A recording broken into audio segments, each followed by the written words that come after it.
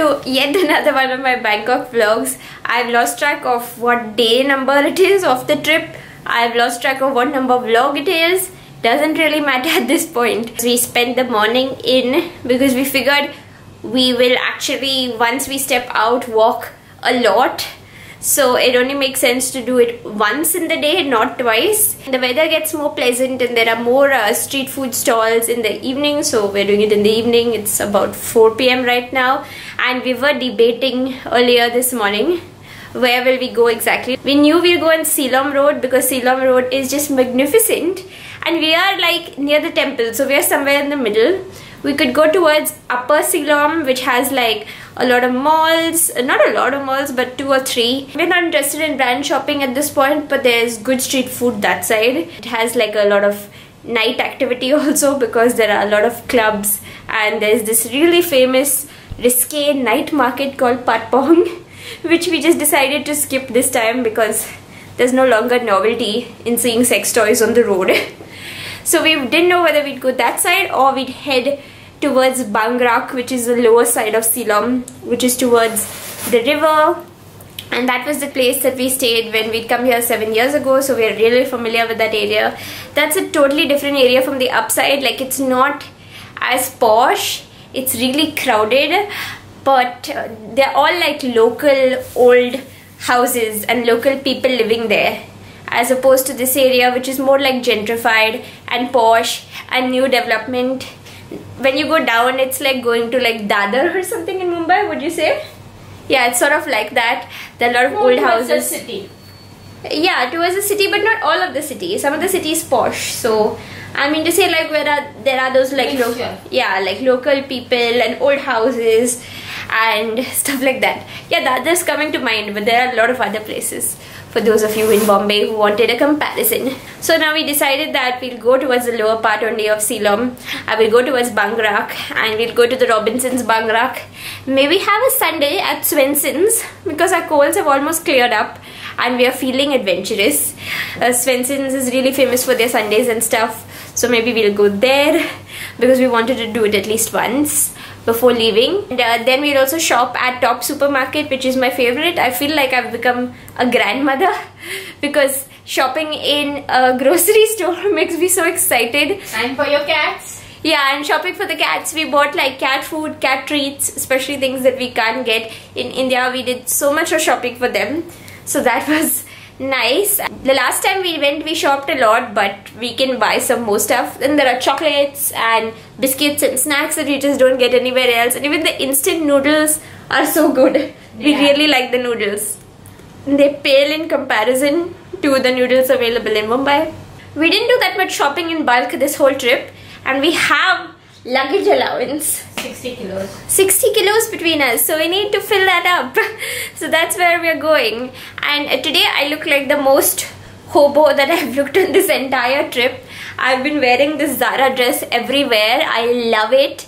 Um, it's so comfortable. It's so easy. It kind of looks like a nightie, but the colors make it look stylish. And it has been my go-to piece on this trip. And my hair is super greasy, so like ponytail it is. Enough talking now. Let's go. Check this out, guys. I don't know who parked this, but look at this pickup truck. it's half on the sidewalk and half on the road. Very daring.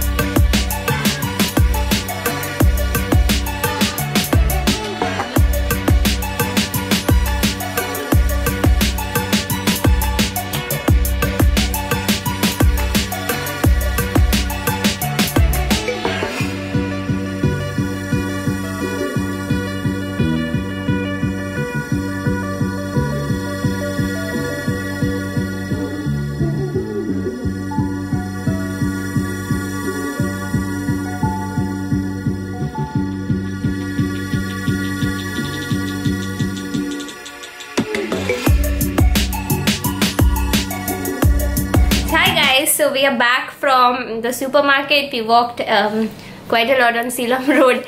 We are eating really indulgent food here, so we feel like at least walking would counterbalance that a little bit. Yeah, definitely. We're eating pork, beef, fish, and everything that is And sweet stuff also. Yeah, and salads. Lots of salads. She's not called crazy salad lady for no reason. Yeah, no, you get lovely salads here. yeah, you do. We had the papaya salad yesterday. I think um, it's what you call som tham. I'm not sure. Um, usually it's spicy, but she made us a fresh salad, uh, and we told her less spice, and it was so delicious. We ended up having it earlier today actually because we had too much stuff yesterday. Salad could keep well in the fridge, just like a communal fridge downstairs, and was really really good. So definitely going to her at least once more.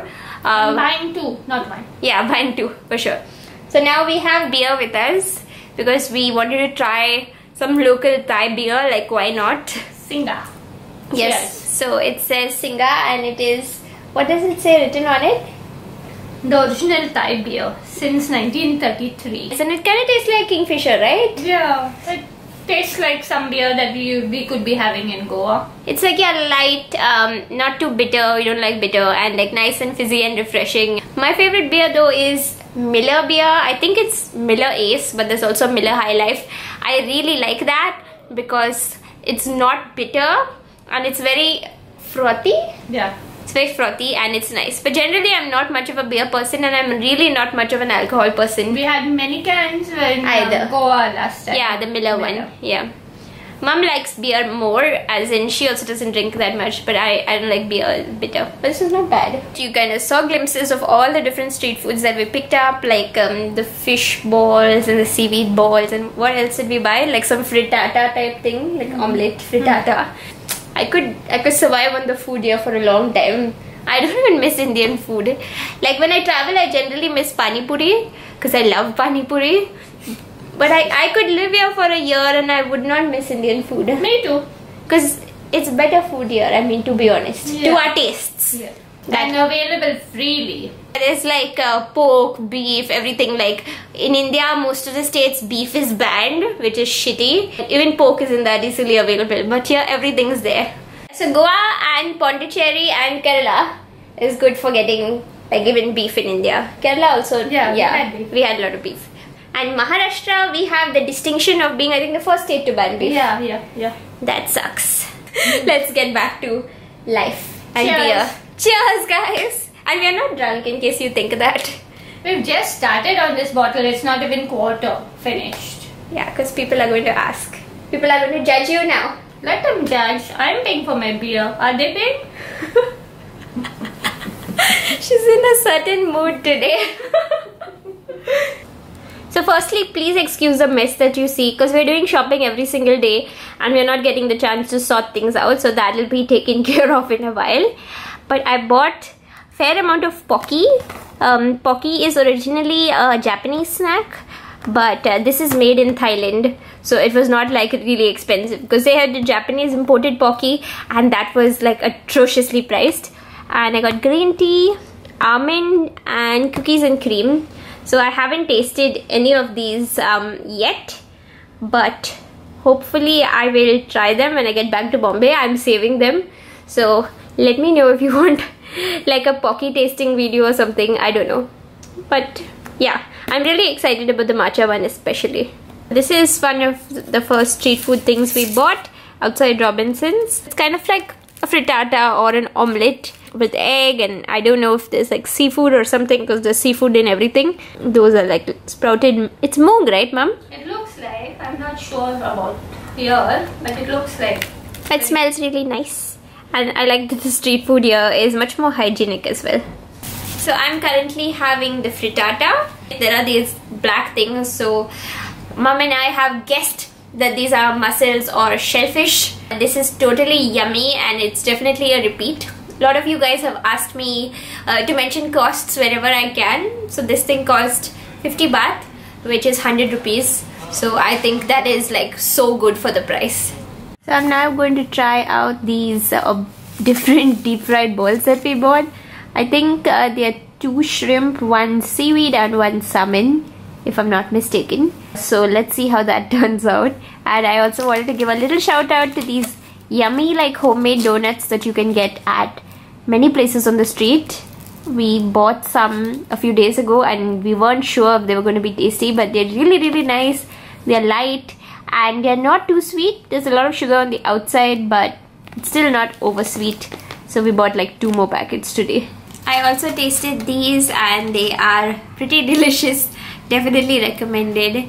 And the colds come back I think after eating ice cream at Swensen's. But it was worth it. The stuff at Swensen's is very good. I just like knew that we had to go at least once and we shouldn't let the cold stop us. And I think we'll go again as well.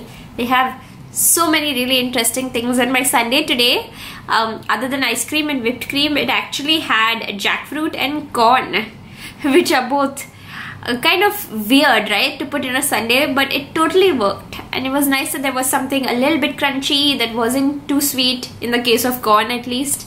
Jackfruit's a little sweet. But yeah it was nice. We've had a good food day you can't go wrong with most of the food here. Every time we buy something new uh, we just buy like a little bit the first time just so that we don't waste if we don't like it. But I think we've ended up liking every single thing. So it's after midnight now and I'm getting kind of sad that this holiday is coming to a close. Friends back home have been asking me um, where I've been going and what kind of sightseeing I've been doing. But the thing is we haven't done that much sightseeing because we saw most of the interesting stuff like the temples and all that we had come seven years ago so nothing has changed because they are all historic temples. And we're not really big on sightseeing on the whole. Safari World? Yeah, we went to Safari World also, which was a decent, it's like an animal park outside Bangkok, so it was fun at the time.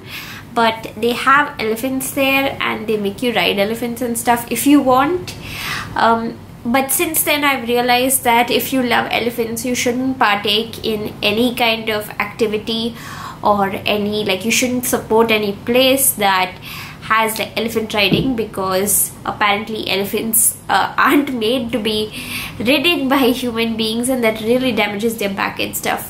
So that's something that I've tried to incorporate and I've also like been sharing it on my Facebook and stuff.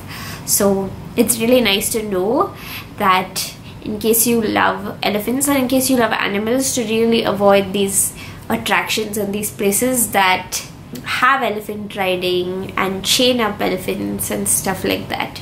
But generally what I'm trying to say is that we are not really into like the big sightseeing and like the touristy spots. Some of them are good but what we really enjoyed the most this time and I think Mum would agree is just the slow travel um, the walking about the taking the BTS uh, the little bit of shopping the lot of street food eating and all that that is the stuff that we've loved the most. Just sort of staying like a local in a way like I know we're not really staying like locals but still.